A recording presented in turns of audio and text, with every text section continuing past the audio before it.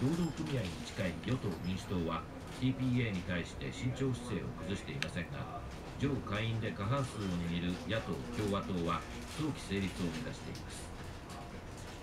アメリカでは今週に入って対日最強硬派だった食肉などの生産者団体が相次いで TPA 賛成に舵を切り